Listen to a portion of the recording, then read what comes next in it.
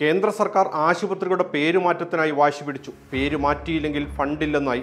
എന്തു വന്നാലും പേര് മാറ്റില്ലെന്നായിരുന്നു നവകേരള സദസ്സിനിടെ ആരോഗ്യമന്ത്രി വീണ ജോർജ് പ്രഖ്യാപിച്ചത്. കേന്ദ്രത്തിന്റെ സർക്കുലർ എന്താണെന്നറിയാം? ഇനി മുതൽ ആശുപത്രികളെ ആരോഗ്യ കേന്ദ്രങ്ങളാകട്ടെ ആശുപത്രികളാകട്ടെ ആയുഷ്മാൻ ആരോഗ്യ മന്ദിർ എന്ന് പറയണം. അതായത് ഇരിങ്ങാലക്കുട ആയുഷ്മാൻ ആരോഗ്യ മന്ദിരത്തിൽ ഞാൻ പോകാൻ പോവാണ് എന്ന് പറയണം.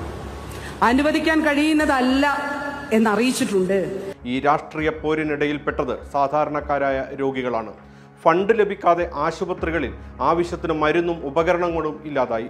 എൻ എച്ച് എമ്മിന് കീഴിലെ ഡോക്ടർമാർ ഉൾപ്പെടെയുള്ള ജീവനക്കാർക്ക് രണ്ട് മാസമായി ശമ്പളം ലഭിച്ചില്ല.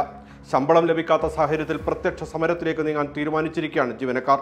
ഇതിനിടെ ആശുപത്രികളുടെ പേര് ആയുഷ്മാൻ ആരോഗ്യമന്ത്രി എന്നാക്കണമെന്ന കേന്ദ്ര നിർദ്ദേശം നടപ്പിലാക്കില്ലെന്ന മുൻ നിലപാടിൽ നിന്ന് സംസ്ഥാന സർക്കാർ പിന്മാറിയിരിക്കുകയാണ്.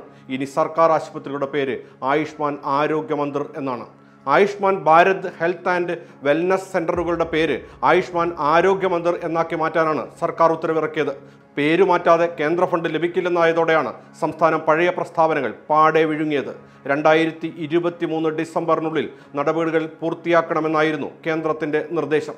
കേന്ദ്രം നിർദ്ദേശിച്ച ബ്രാൻഡിംഗ് നടപ്പിലാക്കാൻ കേരളം മടിച്ചതോടെ കേന്ദ്രം ദേശീയ ആരോഗ്യ ദൗത്യത്തിന്റെ ഉൾപ്പെടെയുള്ള ഫണ്ടുകൾ തടഞ്ഞുവെച്ചു. ഇതിനു പുറമെ ആയുഷ്മാൻ ഭാരത് പദ്ധതിയുടെ ഫണ്ടുകളും അനുവദിക്കുന്നത് നീട്ടിവെച്ചിരിക്കുകയാണ്. സംസ്ഥാനത്ത് ലഭിക്കേണ്ട എണ്ണൂറ് കോടിയാണ് കേന്ദ്രം പിടിച്ചുവെച്ചത്. ഇപ്പോൾ നിരവധി ചോദ്യങ്ങൾ ബാക്കിയാണ്. എന്തിനാണ് കേന്ദ്ര സർക്കാർ പേരുമാറ്റത്തിനായി വാശി പിടിച്ചത്? ഫണ്ട് തടയുന്ന രാഷ്ട്രീയത്തിലൂടെ ഇരകളാകുന്നത് പാവപ്പെട്ട രോഗികളാണ്. ഇനി ആര് ഇതിനുത്തരം പറയും? തീരുമാനം വൈകിപ്പിച്ചതിലൂടെ കേരള സർക്കാരും രോഗികളെ വെട്ടിലാക്കിയിരിക്കുകയാണ്. Música